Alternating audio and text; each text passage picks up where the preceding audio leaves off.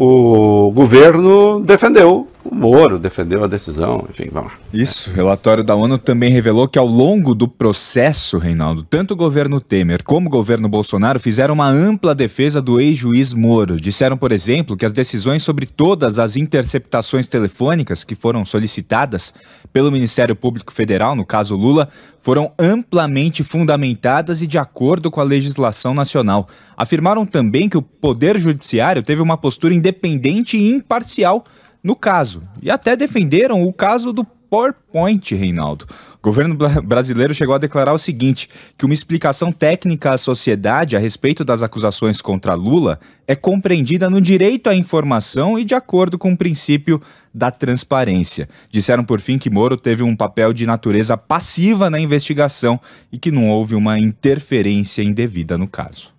Olha, aqui a gente explica tudo direitinho, tá? Ninguém quer mobilizar, botar pilha fora do. É claro que, a, a, veja, o governo brasileiro se defender aí é, é, é, o normal. É normal, porque afinal de contas, o Sérgio Moro atuava em nome do. A pretensão punitiva do Estado estava com o Ministério Público, a decisão com o Judiciário, encarnado pelo Moro ali. É o Estado brasileiro que tem que se defender nesses casos. Tá certo. O argumento só não pode ser ridículo. E o argumento foi ridículo. Não, é claro que pode. Veja, quem disse que não pode quebrar sigilo telefônico? Pode. E gravar a conversa? Pode. Só que a conversa do Lula e da Dilma foi gravada fora do período do grampo. E a divulgação foi ilegal. Como, aliás, registrou Teori Zavascki, que era o relator do Petrolão. Tanto é que é, o Moro levou um pito. Né? Aliás, quando o Dallagnol esteve com o Fux, nós revelamos essa conversa aqui, vocês se lembram disso, né? É, sim, sim. O, consta que o Fux contou pro, pro Dallagnol que ficou muito mal pro, pro, pro Teori Zavascki, aquele pito que ele deu no, no Moro e tal. É isso? Então, isso foi legal. O Poder Judiciário tem postura independente e parcial no caso e até e, e, e, e, defender o PowerPoint como uma forma de explicação.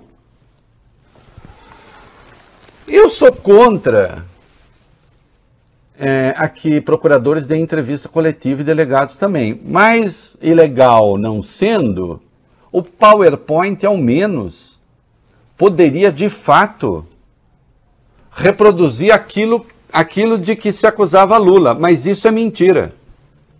Isso também é mentira, demonstrei isso no dia. O PowerPoint dizia uma coisa, acusação outra. Hum? E Deltan Dallagnol revelou em conversa no Telegram, ele tentava transformar o Lula responsável por um desvio de 86 milhões. Quando o apartamento que diziam ser do Lula valia um pau e alguma coisa. Apartamento que diziam ser do Lula e que não provaram ser do Lula. E apartamento que a Álvares e Marçal, a empresa em que Sérgio Moro foi trabalhar depois, dizia ser da OAS. Quem não tem memória, ok, vai, mas não é o caso do titio. Né?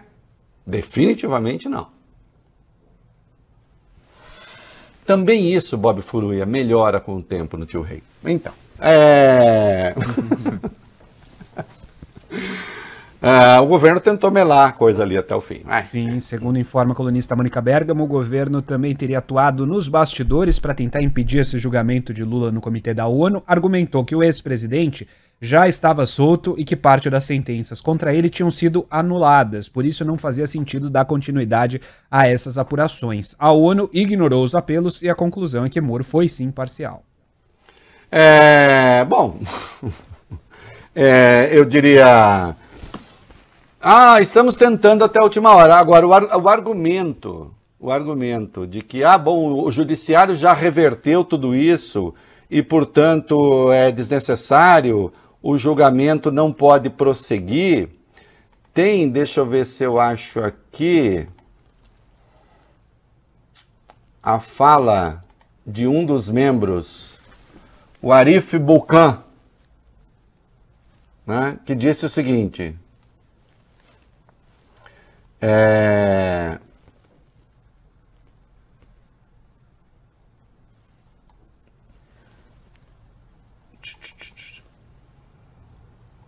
Hum, hum, peraí, peraí, peraí, peraí que eu vou achar. Ó, oh, telefone ligado. Eita!